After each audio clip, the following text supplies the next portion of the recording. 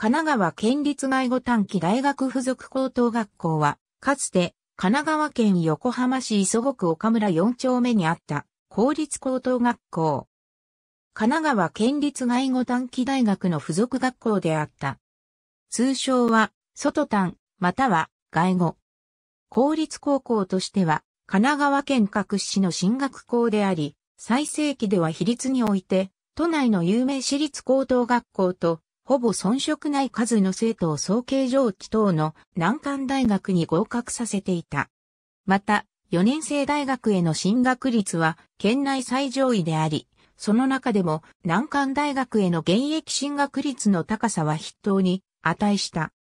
全日制家庭貿易外語科のみを設置する専門高校ではあったが、他の普通科公立トップ高校と遜色ない学力レベルであったことから、全県から優秀な生徒が集まっており、全国の専門学科の中でも最難関級の高校であった。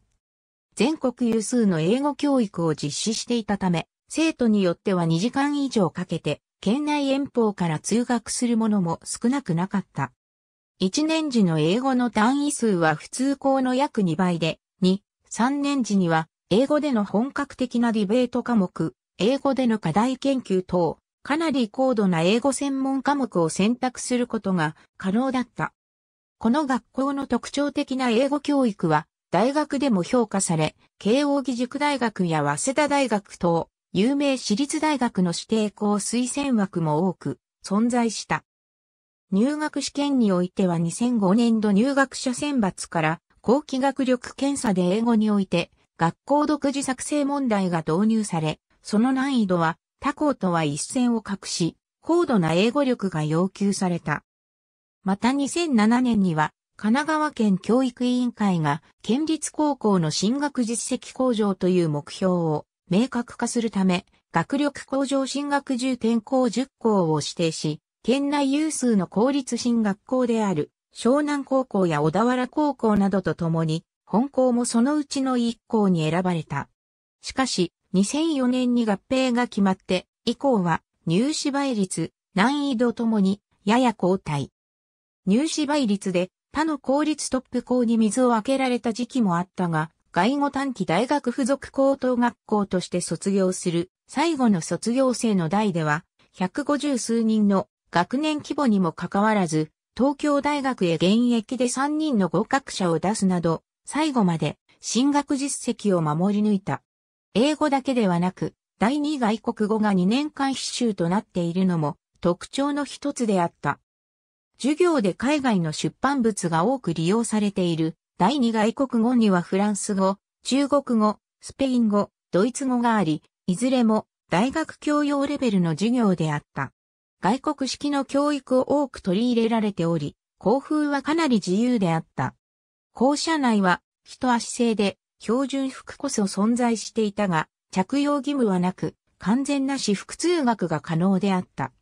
チャイムはテスト期間ですらも一切ならず、試験監督の先生が所持する時計を基準に言っていた。校内放送を聞く機会も文化祭の時期くらいのものであり、自由と自立を重んじる校風であった。校則はもちろん、生徒手帳すら存在しなかった。海外帰国生徒特別募集枠もあったことから、帰国子女からの人気も高く、多くの帰国生が在籍していた。帰国枠で入った生徒は、基本的に1年生の時は1組に配属され、レベルに応じて1、2年生の間は、英語、国語、数学において、習熟度別の取り出しクラスが設けられていた。2003年から文部科学省のセレイの指定を受けた。男女共学ではあったが、他の国際科、英語科高等学校と同様に、男女比率では女子が圧倒的に多かった。また付属校ではあったが、神奈川県立外語短期大学への内部、進学制度は存在せず、ほとんどの学生が4年生大学を希望した。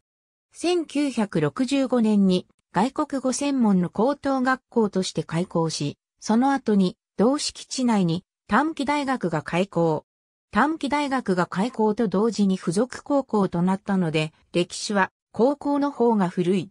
全日制貿易外語科のみを有した。1年生次の英語の単位数は普通校の約2倍であり、2年生次からはそれ以上に英語科目の単位数を増やすことも可能であった。第2外国語やに3年時に必須の日本語、英語での課題研究など語学に関する科目が多いのが特徴であった。倫理、物理の授業はなかった。2学期制50分6次元を基本に、主に文系教科を履修し、レベル、深度ともにやや高めであった。理系教科は他の普通科高校に比べて内容は基本的なものにとどまったものであったが、理系の大学へ進学する生徒も少なからず毎年存在した。後期選抜では国語、数学、理科、社会は全県共通入学試験問題を採用し、英語のみ、本校独自入学試験問題を採用していた。ありがとうございます。